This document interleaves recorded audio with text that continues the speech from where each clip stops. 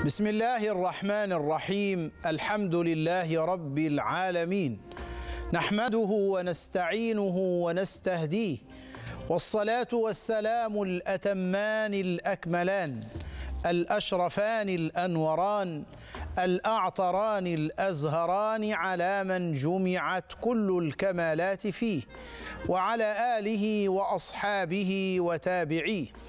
يا رب بالمصطفى بلغ مقاصدنا واغفر لنا ما مضى يا واسع الكرم.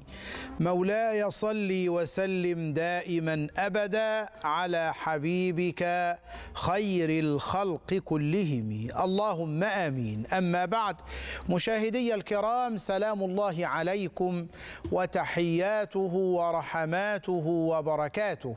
أهلا بحضراتكم معنا في برنامجكم الحياة أخلاق. اللهم خلقنا بخلق رسول الله وأدبنا بأدبه. اللهم آمين يا رب العالمين. النهارده إن شاء الله هنبدأ أدب جديد من الآداب الإسلامية ألا وهو أدب زيارة النبي صلى الله عليه وسلم. إيه الآداب اللي نتأدب بيها؟ عند زيارة الحبيب الشفيع وعند الإقامة بالمدينة المنورة. المدينة ما كانش اسمها المدينة كان اسمها يثرب. يا أهل يثرب لا مقام لكم فارجعوا. وسيدنا النبي يقول لنا في الحديث أمرت بقرية تأكل القرى يقولون يثرب إنما هي طابة. المدينة المنورة كان اسمها يثرب. يثرب من التثريب بمعنى إيه؟ بمعنى التوبيخ والملامة. كان فيها حمى اسمها حمى يثرب. أي واحد يعدي من طريق يثرب يصاب بالحمى حتى لما هاجر سيدنا النبي سيدنا بلال وسيدنا أبو بكر مرضا الاثنين معا. وكان سيدنا بلال يقول كل امرئ مصبح في أهله والموت أدنى من شراك نعله. فستنا عائشة راحت لحضرة النبي قالت له يا رسول الله مرض أبي ومرض بلال ادعوا الله لهما. فشوف بقى سيدنا النبي رفع يديه وقال اللهم صححها وانقل حماها إلى أرض الجحفة. فانتقلت حمى يثرب من يثرب إلى أرض الجحفة خارج المدينة وبقى اسمها المدينة المنورة. مدينة رسول الله المدينة المستنيرة المدينة المنورة برسول الله.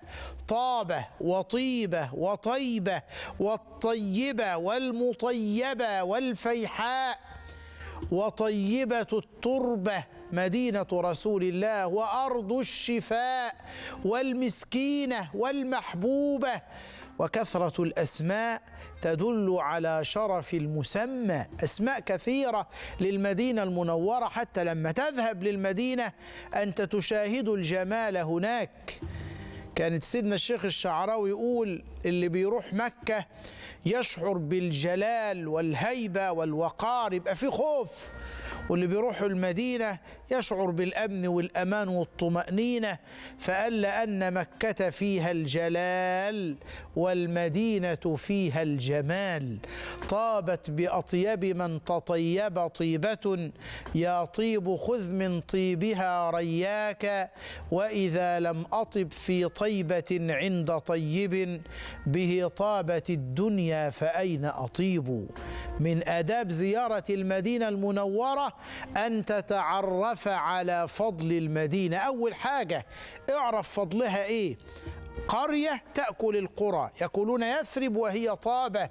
سيدنا النبي دعا لأهلها اللهم بارك لنا في صاعنا ومدنا ده سيدنا النبي جعلها بلد حرام وبلد آمن. إن إبراهيم حرم مكة وأنا أحرم المدينة. ما بين لابتيها حرام. اللهم اجعل بالمدينة ضعفي ما جعلت بمكة من البركة. قال على أنقاب المدينة ملائكة حراس من الملائكة لا يدخلها الطاعون ولا الدجال. مسيخ الدجال ما يدخلش المدينة. مرض الطاعون أي وباء انتشر بين الناس لا يدخل المدينة. الملائكة على أبواب المدينة يمنعون الوباء من دخول المدينة. كل هذا ببركة سيدنا رسول الله صلى الله عليه وسلم. اوعى حد يضحك عليك وتروح عمرة ولا حج وما تزورش النبي. وإذا حججت ولم تزر علم الهدى كنت ما أجفاك. الحج مقبول صحيح من غير الزيارة والعمرة مقبولة لكن ألا يليق بك أن تزور من علمك الحج والعمرة صلى الله عليه وسلم. يبقى أول أدب من أداب المدينة أن نتعرف على فضلها.